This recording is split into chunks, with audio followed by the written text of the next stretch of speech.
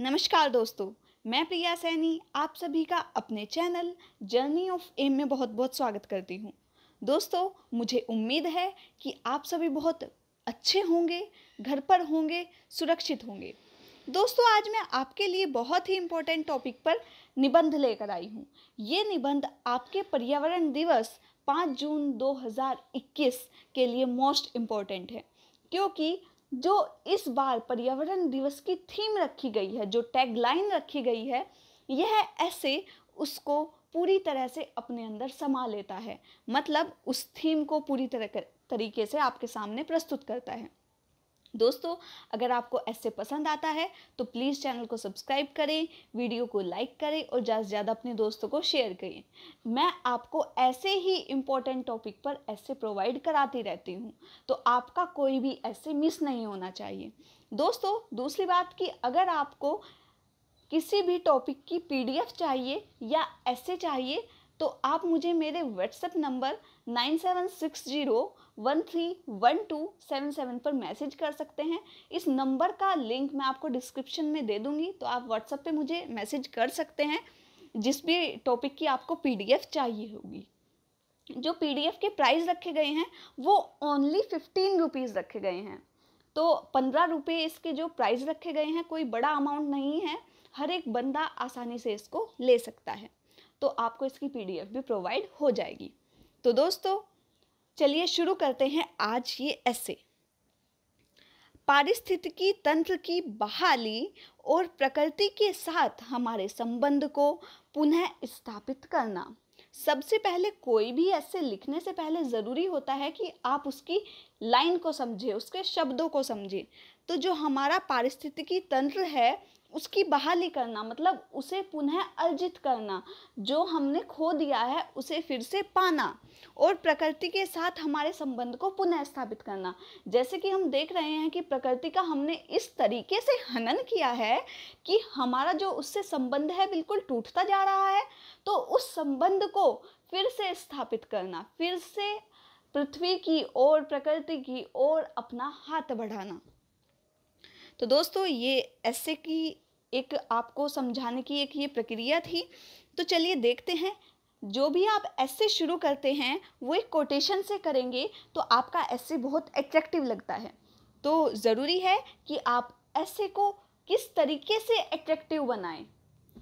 तो चलिए देखते हैं।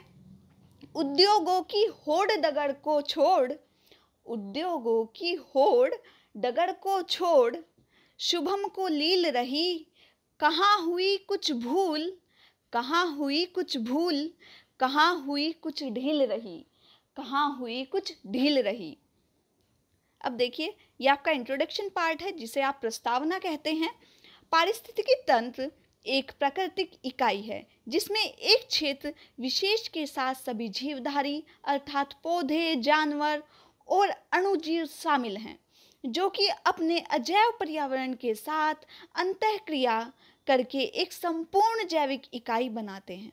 दूसरे शब्दों में कहूँ तो घने जंगल से लेकर एक छोटे तालाब तक एक परिस्थिति तंत्र एक दूसरे से जुड़कर अपना महत्व प्रस्तुत करते हैं।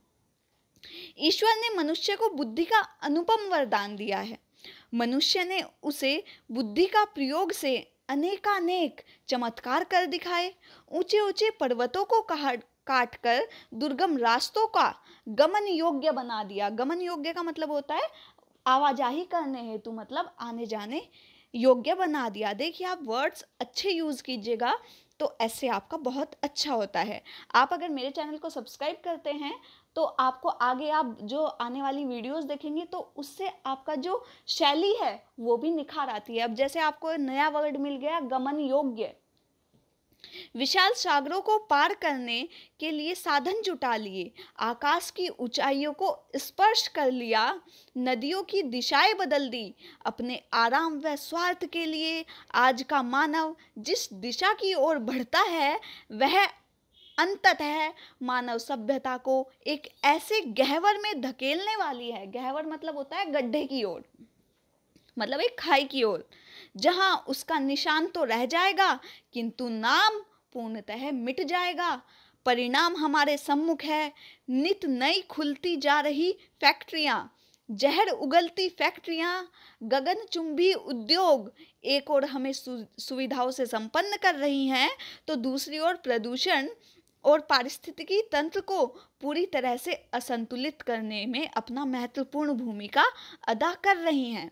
अब देखिए, इसके बाद आप एक कोटेशन डालते हैं तो आपका ऐसे और अट्रैक्टिव होता है। दोस्तों कोटेशन मैं खुद बनाती हूँ।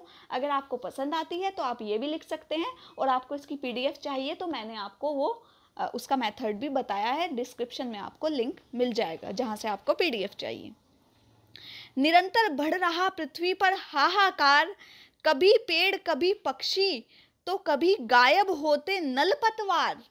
अगर ना रोका गया इस दृश्य को तो बहाली करना असंभव होगा जीवन सार तो बहाली करना असंभव होगा जीवन सार विकसित देश औद्योगिक अवशिष्ट के द्वारा पर्यावरण को अत्यधिक हानि पहुँचा रहे हैं।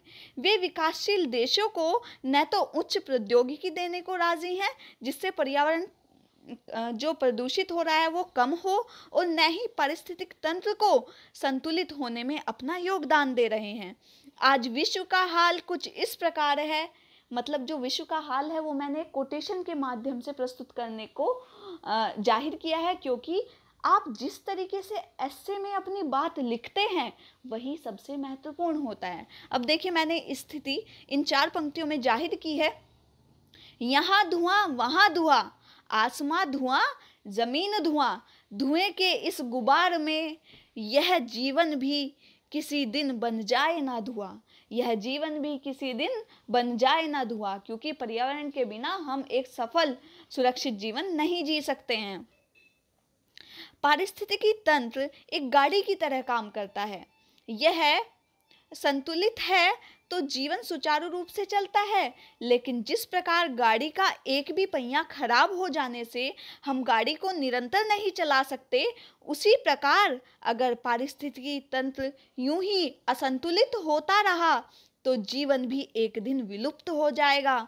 हमारी गैर ज़िम्मेदारी के कारण लाखों पक्षी, प्रजातियाँ पेड़ पौधे विलुप्त हो चुके हैं, जो कि इस तंत्र की चेन तोड़ते जा रहे हैं। वस्तुतः आज आवश्यकता है। देखिए आपका कंक्लूजन पार्ट है, जिसे आप निष्कर्ष कहते हैं। आवश्यकता है कि हम यह सोचें कि पारिस्थितिकी तंत्र की बहाली किस प्रकार हो, किस प्रकार पर्यावरण को पुनर्स्थापित किया जाए, क्योंकि संतुलित व शुद्ध पर्यावरण के बिना मानव का जीवन कष्टमय हो जाएगा। हमारा अस्तित्व एवं जीवन की गुणवत्ता एक स्वस्थ प्रकृति पर्यावरण पर ही निर्भर करती है। विकास हमारे लिए आवश्यक है और इसके लिए प्रकृति संसाधन का दोहन भी होता है।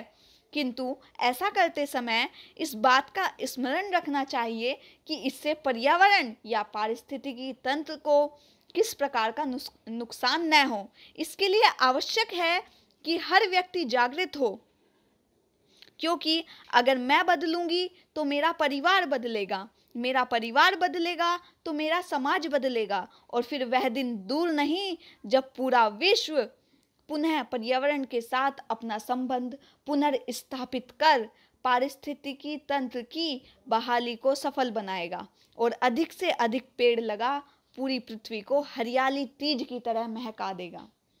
अब जो आप अपने ऐसे का एंडिंग करेंगे, वो एक कोटेशन से कर सकते हैं कोटेशन है, पारिस्थितिकी की बहाली बढ़ाएँ, पर्यावरण से मित्रता का हाथ बढ़ाएँ, जीवन को स्वच्छ सुंदर बनाएँ, जीवन को स्वच्छ सुंदर बनाएँ। तो दोस्तों, ये आपका ऐसे था। अगर आपको ऐसे पसंद आया है तो प्लीज़ चैनल को सब्सक्राइब करना ना भूलें वीडियो को लाइक करें, ज़्यादा से ज़्यादा अपने दोस्तों को शेयर करें।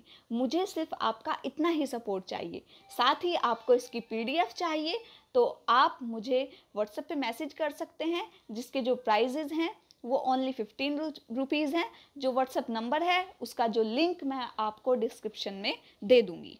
तो दोस्तों, मुझे अपना सपोर्ट दें। सिर्फ़ मेरी आपसे इतनी ही रिक्वेस्ट है। तब तक के लिए घर पर रहें, सुरक्षित रहें, अपना ध्यान रखें, अपने अपनों का ध्यान रखें।